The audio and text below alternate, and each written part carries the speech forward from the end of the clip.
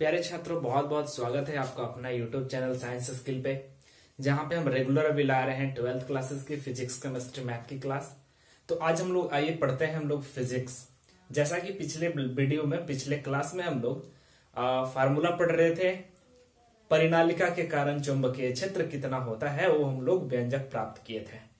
आज हम लोग उसके आगे पढ़ते हैं टेरोइड के कारण। टेरोइड अब क्या होता है? जैसे कि परिणालिका के बारे में हम लोग लिखे थे। वैसे ही अब आइए हम लोग सीखते हैं टेरोइड के द्वारा कितना चुंबकीय क्षेत्र उत्पन्न होता है। तो टेरोइड द्वारा उत्पन्न चुंबकीय क्षेत्र ये टॉपिक लेंगे। टेरोइड द्वारा उत्पन्न चुंबकीय क्षेत्र। ये टॉपिक लेंगे। अब उसके नीचे कुछ फ़र्स्ट एरो देंगे, लिखेंगे। ज़्यादा हो गया है इसमें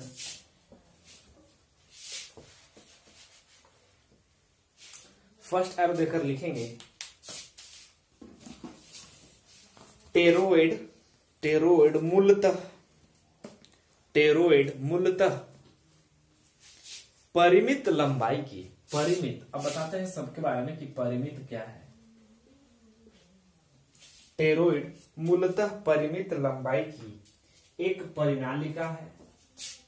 एक परिनालिका है जो वृत्त के आकृति में, जो वृत्त के आकृति में मुड़ा हुआ रहता है। मुड़ा हुआ रहता है। सेकेंड एरो देंगे। सेकेंड एरो इसमें लिखेंगे, इसमें वृत्ताकार खोखले छल्ले पर, इसमें वृत्ताकार खोखले छल्ले पर इनेमल तार के अनेक फेरे, इनेमल तार के अनेक फेरे पास पास लपेटे जाते हैं। पास पास लपेटे जाते हैं। तो चलिए, अब हम लोग आगे फिगर के माध्यम से देखते हैं कि टेरोइड क्या है। उसको हम लोग, चलिए देखते हैं टेरोइड को। तो ये रहा टेरोइड का फिगर। अच्छा अब टेरोइड के बारे में हम लोग जो लिखे हैं, उसको समझते हैं। ये टेरोइड है और टेरोइड को समझने के लिए आपको पहले परिनालिका को समझना पड़ेगा। प्यारे छात्रों, परिनालिका में हम लोग पढ़े थे कि एक पाइप होता है, बेलनाकार पाइप, और इसमें बहुत तरह का एक तार को लेकर हम लोग इस पर लपेटते हैं। तो जिस तरह का फॉर्मेट बनता है, वो परिनालिका कहलाता है, प्यारे छात्रों। लेकिन अब यही पाइप को वृत्ताकार फॉर्म में लेना है। यानी कि खोखला गोला एक पाइप है, जिसको वृत्ताकार रूप में ले लिया गया है। अब यही वृत्ताकार रूप में लेकर एक वायर को लपेटा गया है। देखिए हम लोग एक वायर को, तार को हम लोग चारों तरफ़, दोनों मतलब पाइप के चारों तरफ़ लपेटना शुरू कर दिए हैं। लपेटते लपेटते यहाँ तक इंड हो गया है, फिर तार को हम आगे निकाल लिए हैं। कुल मिलाकर देखा जाए तो परिनालिका और टेरोइड दोनों सेम ही है, क्योंकि परिनालिका में भी हम लोग यही काम करते थे कि बस वहाँ पे होता था एक सीधा बेलन जिसपे हम लोग तार को लपेटते थे। यहाँ पे भी वही है, यहाँ पे भी बेलन ही है, लेकिन सीधा के बजाय एक वृत्त में है। वृत्ताकार रूप में बेलन है। पाइप का एक वृत्ताकार फॉर्मेट है जिसपे हम लोग कर रहे हैं तार को लपेटने का काम कर रहे हैं। तो यहाँ पे जब तार को लपेटेंगे तो कुछ इस तरीके का फिगर हमें बनेगा। प्यारे छात्रों, वही कहलाता है टेरोइड। यानी कि कुल मिलाकर अगर देखा जाए तो टेरोइड और परिनालिका में एक ही अंतर है। काम सब कुछ वही किया जा रहा है। बस अंतर क्या है? अंतर यह है कि हम लोग परिणालिका को सीधा बनाते हैं, लेकिन टेरोइड को एक वृत्ताकार रूप में, बेलन को बनाकर और उसके ऊपर तार लपेटते हैं। राइट तो अगर हमें बोलेगा कि टेरोइड क्या है तो हम यही बोलेंगे कि परिणालिका की जैसी संरचना वाली, एक खोखले छल्ले को वृत्ताकार रूप में मोड़कर उसके ऊपर से अगर तार लपेटा जाए, याद रहे कैसा तार प्यारे छात्रों? इनेमल का तार। इनेमल क्या करता है? अगर मान लिया कि जाए कोई वायर पे अगर इनेमल का परत लगा दिया जाए तो एक कवरिंग का काम करता है। जैसे एक वायर पे प्लास्टिक का कवर रहता है, वैसे ही इनेमल भी एक कवरिंग का काम करता है, जिसको हम लोग सटा सटा कर बिल्कुल अगर लपेटेंगे, तब पर भी वो एक करंट से दूसरे वायर में करंट नहीं जाएगा। तो कहने का मेरा मतलब ये है कि toroid is same as a परिनालिका परिनालिका के जैसा है बसरते अंतर आप लोग देख रहे हैं, वहाँ हम लोग सीधे में लपेटते थे सीधे बेलनाकार में, लेकिन यहाँ पे लपेट रहे हम लोग कैसे?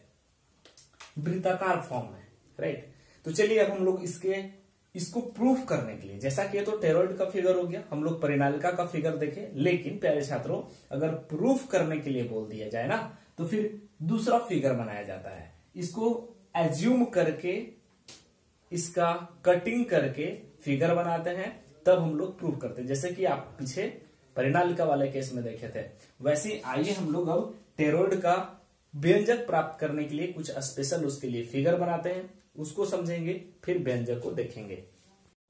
तो चलिए प्रूफ करने के लिए इस फिगर को हम लोग देखते हैं। जैसा कि हम लोग टेरोइड अभी बना रहे थे ना, ये भी एक तरह का टेरोइड है, लेकिन प्रूफ करने के लिए जरा हमको और कुछ डीपली कुछ नॉलेज चाहिए, कुछ सोचना पड़ेगा, कुछ जानना पड़ेगा। ये टेरोइड ही है, लेकिन ये डॉट का मतलब प्यारे छात्रों, क्या? कि जैसे हम लोग तार को लपेट रहे हैं ना तो तार को लपेटते समय ये हमारे तरफ़ आ रहा है, और जैसे मतलब तार को अगर लपटेंगे तो ऐसे ऐसे करके लपटेंगे। तो जब उधर से तार अगर आएगा तो हम ये बोलेंगे कि वो डॉट है। यानी कि उसके द्वारा जो चुंबकीय क्षेत्र है, वो मेरे तरफ़ आएगा, इसलिए हम यहाँ डॉट किए हैं, और उसको लपेटेंगे तो इधर से ले जाएँगे। ये क्या है? क्रॉस है। अब आपकी इच्छा है, आप इसे डॉट भी कर सकते हैं। जैसे कि आप ऐसे भी तो लपेट सकते हैं तो जब ऐसे लपटेंगे तो ये मेरे तरफ़ आएगा तो यहाँ डॉट भी कर सकते हैं, और ये ऊपर की तरफ़ जाएगा। जैसे आप लपटेंगे, यहाँ तो खाली जगह है, वो तो पाइप है तो हम लोग उसको लपटेंगे ऐसे ऐसे तो यहाँ पे अगर आएगा तो आप इसको डॉट डॉट भी कर सकते हैं, और यहाँ पे जाएगा का मतलब क्रॉस क्रॉस भी कर सकते हैं। तो उससे हमें कोई लेना देना नहीं है। आपको हम ये समझाना चाह रहे हैं कि ये डॉट और क्रॉस क्या दिखा रहा है। कि चुंबकीय क्षेत्र आमने सामने से आ रहा है तो डॉट और जा रहा है तो क्रॉस। आप यहाँ पे अपनी इच्छा से डॉट भी बना सकते हैं, क्रॉस भी बना सकते हैं, कोई अंतर नहीं पड़ने वाला है राइट अब ये एक टेरोइड है और इस टेरोइड में एक पी बिंदु है जहाँ पे हमें बी का वैल्यू निकालना है। जहाँ पे हमें बी का वैल्यू निकालना है। और याद रहे, इस टेरोइड में जो तार लपेटा गया है उसमें जो तार का लपेटों की संख्या है या फेरों की संख्या है, वो कैपिटल एन है और इसमें करंट दिया जा रहा है आई करंट यानी कि इसमें जो तार लपेटा जा रहा है ना, तार में आई करंट दिया जा रहा है, विद्युत धारा आई दिया जा रहा है। अब जब तार में विद्युत धारा आई दिया जा रहा है और लपेटों की संख्या एन है तो कुछ दूरी पर, यानी कि वो दूरी क्या है? आर यानी कि ये आर क्या है? तो वह दूरी है, वह त्रिज्या है। जहाँ पे हमें क्या निकालना है? विद्युत क्षेत्र, चुंबकीय क्षेत्र निकालना है। तो अगर मान लिया कि ये वैल्यू अगर आर दिया हुआ है पी बिंदु पी बिंदु से लेकर तो यहाँ पे एक एम्पीरियन लूप हम लोग निकाल सकते हैं। For example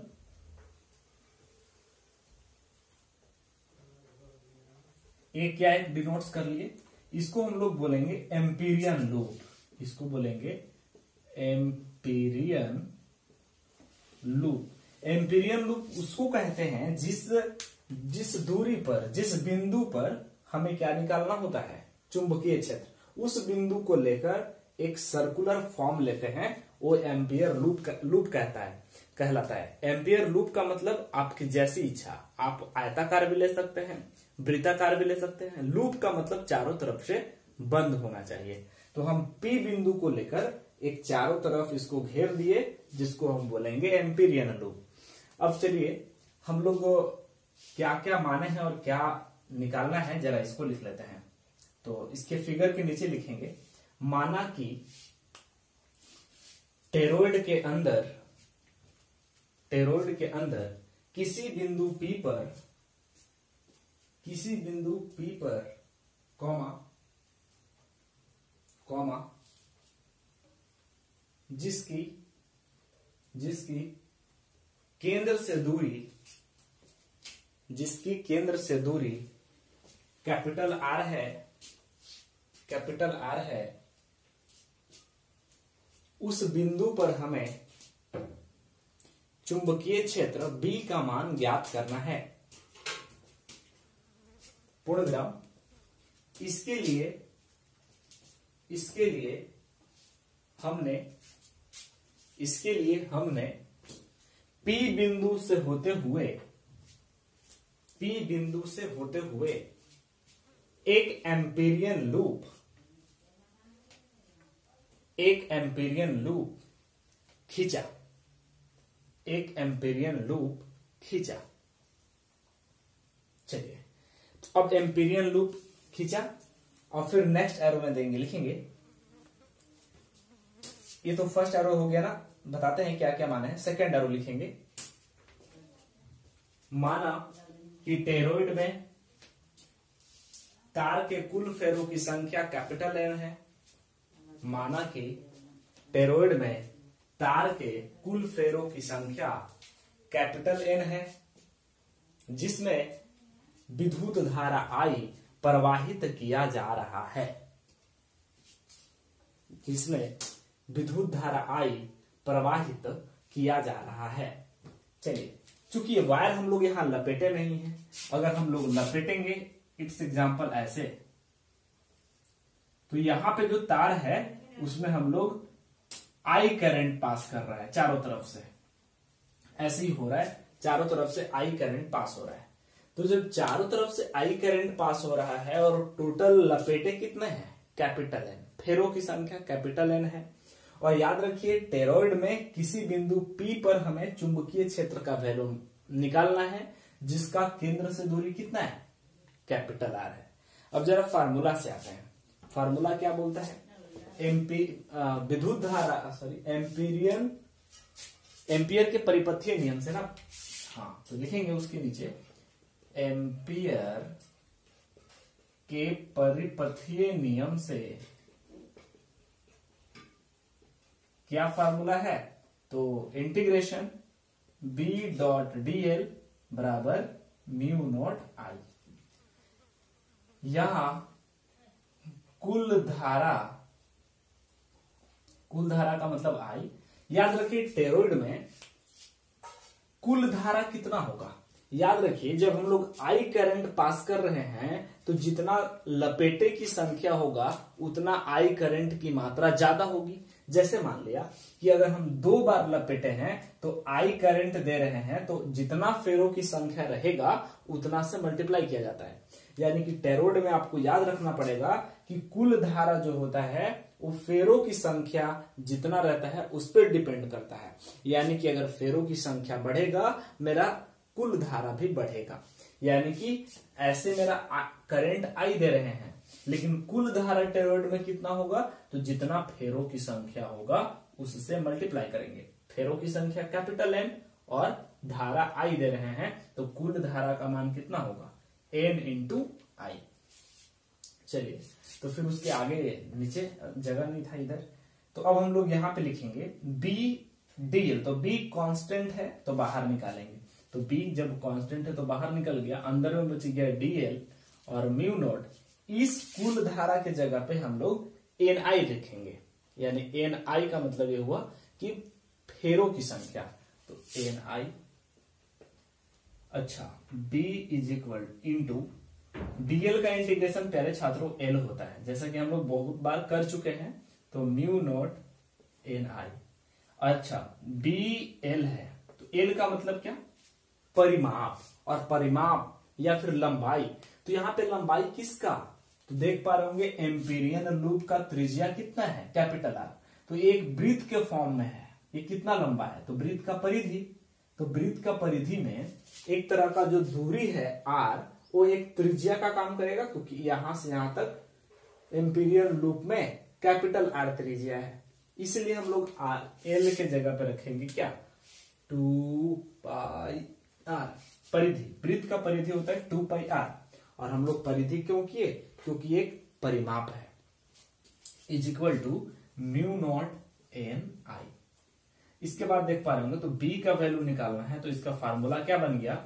Mu naught N I by two pi R याद रखिएगा, ये वो चुंबकीय क्षेत्र का वैल्यू है जिसमें टेरोइड में टेरोइड में केंद्र से अगर पाँच सेंटीमीटर की दूरी बोलेगा यानी कि टेरोइड रहना चाहिए, सवाल में टेरोइड बोलना चाहिए। यानी कि सवाल में लिखा हुआ रहेगा कि परिणालिका है, सीधे धारावाही तार है, तार के भीतर, तार के बाहर। कुछ भी सवाल रहेगा, हमको बस ये केयर करना है कि सबके लिए अलग अलग चुंबकीय क्षेत्र होता है, सबके लिए अलग अलग केस होता है। ये टेरोइड के लिए है। टेरोइड में ये आर क्या बताता है? ये आपको याद रखना पड़ेगा कि टेरोइड में ये जो आर है, कैपिटल आर ये टेरोइड का त्रिज्या नहीं है। ये जिस बिंदु पर ज्ञात करना है, वो उसका केंद्र से दूरी। सवाल रहेगा कि किसी टेरोइड में दो एम्पियर की धारा प्रवाहित की जा रही है, उसमें तार के लपेटों की संख्या, फेरों की संख्या चौदह है, और आपको निकालना है टेरोइड में केंद्र से पाँच सेंटीमीटर की दूरी पर। तो आपको समझना होगा कि टेरोइड में केंद्र से सात सेंटीमीटर, पाँच सेंटीमीटर की दूरी पर निकालना है तो कैपिटल आर का वैल्यू हो गया। यानी कि आप देखिए, आपको दिमाग लगाना होगा। अलग अलग सिचुएशन में अलग अलग चीज़ें करनी पड़ती है। कहीं कहीं कैपिटल आर जो है, त्रिज्या हो जा रहा है। कहीं कहीं कैपिटल आर दूर हो जा रहा है। कहीं कहीं कैपिटल वो तो अपने से मानने पे डिपेंड करता है, प्यारे छात्रों। अगर आप आर के जगह पे टी भी मान सकते हैं पी भी मान सकते हैं राइट लेकिन जो बुक में डेराइव करके जो फार्मूला लाता है ना, वो यही है। यानी कि आर का यूज़ करता है। तो इसीलिए हम लोगों को आर का मीनिंग समझना है। हर एक सिचुएशन में आर का मीनिंग अलग अलग होती है। आप एकदम रटे नहीं कि आर मतलब त्रिज्या आर मतलब दूरी ही होता है, ऐसा नहीं। समझ में आ रहा है? चलिए अब हम लोग, चूँकि प्रूफ करने वाला सब काम खत्म हो गया है तो आइए हम लोग कुछ एग्ज़ाम्पल पे न्यूमेरिकल्स करते हैं और कुछ न्यूमेरिकल्स हम आपको बनाने के लिए भी देंगे। तो ये हम लोग का प्रूफ हो गया। तीन केस था, एक सीधे धारावाही तार के कारण। उसमें हम लोग तीन केस दिखे तार के अंदर, तार के बाहर और तार के इस सतह पर कितना होता है। चलिए कुछ क्वेश्चन करते हैं। क्वेश्चन लिखा है पहला क्वेश्चन सीधे धारावाही चालक तार में, सीधे धारावाही चालक तार में ज़ीरो दशमलव दो एम्पियर की विद्युत धारा प्रवाहित की जाती है। ज़ीरो दशमलव दो एम्पियर की विद्युत धारा प्रवाहित की जाती है। इससे इससे 20 सेंटीमीटर की दूरी पर, इससे 20 सेंटीमीटर की दूरी पर चुंबकीय क्षेत्र का मान ज्ञात करें। चुंबकीय क्षेत्र का मान ज्ञात करें। Question number second. दूसरा क्वेश्चन लिखेंगे। सब में हम हिंट्स करेंगे। दूसरा क्वेश्चन, तीन सेंटीमीटर त्रिज्या वाले तार, तीन सेंटीमीटर त्रिज्या वाले तार सीधे रूप में रखा हुआ है। सीधे रूप में रखा हुआ है। इसमें दो एम्पियर की विद्युत धारा प्रवाहित किया जाता है तो इसमें दो एम्पियर की विद्युत धारा प्रवाहित किया जाता है तो इस तार में इस, इस तार में अक्ष से एक सेंटीमीटर की दूरी पर अक्ष से एक सेंटीमीटर की दूरी पर चुंबकीय क्षेत्र का मान ज्ञात करें। चुंबकीय क्षेत्र का मान ज्ञात करें। क्वेश्चन नंबर तीन। क्वेश्चन लिखते चलिए, फिर हम सबका हिंट्स बताएँगे, कैसे समझेंगे, क्या करना है। अगला क्वेश्चन 0.25 मीटर वाले परिणालिका में 0.25 मीटर वाले परिणालिका में दस दशमलव पाँच एम्पियर 10.5 एम्पियर विद्युत धारा प्रवाहित की जा रही है। यदि इस परिणालिका के ऊपर, यदि इस परिणालिका के ऊपर बहत्तर तार के लपेटे हो तो बहत्तर तार के लपेटे हो तो इस परिणालिका के कारण, इस परिणालिका के कारण चुंबकीय क्षेत्र ज्ञात करें। चुंबकीय क्षेत्र ज्ञात करें। अगला क्वेश्चन चौथा question this is the last question इसको लास्ट कर देते हैं, क्योंकि समझाना भी है। यदि किसी टेरोइड में,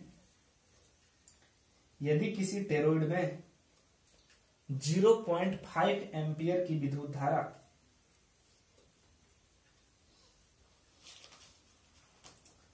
ज़ीरो पॉइंट फाइव एम्पियर की विद्युत धारा प्रवाहित किया जाता है तो प्रवाहित किया जाता है तो टेरोइड के केंद्र से, टेरोइड के केंद्र से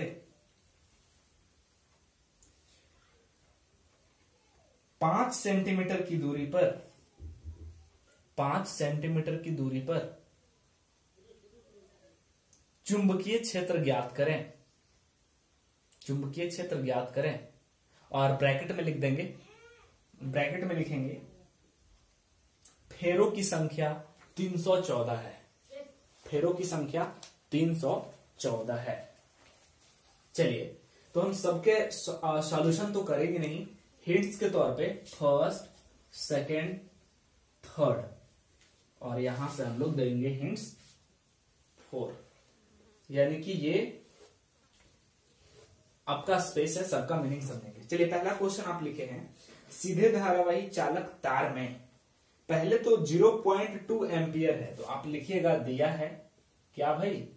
तो आई का मानना हुआ एम्पियर, विद्युत धारा का ऐसे मात्रक एम्पियर है, लिख लिया। इसमें 20 सेंटीमीटर की दूरी पर चुंबकीय क्षेत्र ज्ञात करना है। चुंबकीय क्षेत्र का मतलब बी निकालना है। अच्छा अब 20 सेंटीमीटर दूरी दिया है, ये किसका मान दिया हुआ, ये आप समझिए। यानी कि सीधे धारावाही तार है। सीधे धारावाही तार है। अब इस तार से 20 सेंटीमीटर की दूरी पर बी का मान निकालना है, चुंबकीय क्षेत्र का मान निकालना है।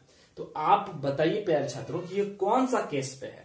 सीधे धारावाही तार में हम लोग तीन केस किए हैं। तार के बाहर, तार के सतह पर, तार के भीतर, तार के अंदर। तो हम लोग यहाँ पे कौन सा केस लगाएँगे? केस नंबर फ़र्स्ट ना, क्योंकि बोल रहा है तार से 20 सेंटीमीटर की दूरी पर। तो फार्मूला याद कीजिए कि बी निकालना है, उसके लिए हम लोग जो दूरी है ना वहाँ पे जो तार के बाहर वाले केस में ये जो सेंटीमीटर में दूरी है, उसको वहाँ आर से डिनोट करते हैं। 20 सेंटीमीटर दिया है। तो सेंटीमीटर को किसमें कर लेंगे? मीटर में। तो मीटर में करने के लिए 100 से डिवाइड करते हैं। तब ये हो जाएगा मीटर में।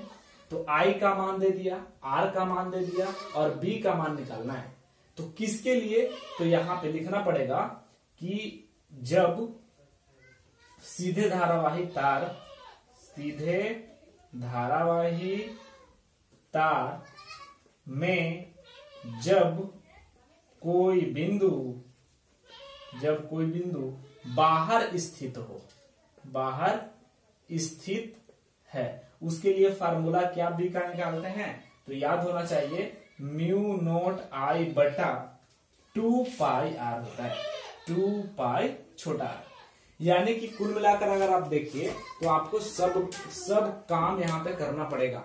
आई का वैल्यू दिया है बी का वैल्यू मान निकालना है आर का वैल्यू दिया है, इसको मीटर में कर लेंगे। और यहाँ पे सवाल कौन सा यूज़ करना है, वो आपको देखकर समझना पड़ेगा। सीधे धारावाही तार में जब कोई बिंदु बाहर स्थित है तो ये फार्मूला होता है, इस पुट कर लेंगे।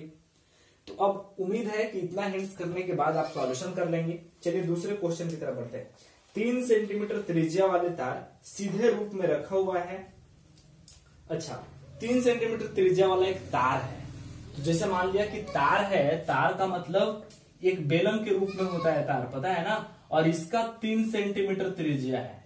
तार का त्रिज्या तीन सेंटीमीटर है और फिर बोल रहा है, केंद्र से एक सेंटीमीटर की दूरी पर। हालाँकि इसमें आई करंट पास किया जा रहा है। यानी कि इसमें जो करंट है, वो आई पास किया जा रहा है। तो ये किस पर कौन सा पर बनेगा सवाल? ये हिट्स कर देते हैं कि जब तार के भीतर या अंदर कोई बिंदु मौजूद रहता है, उसके लिए बी का यहाँ फार्मूला यूज़ होगा।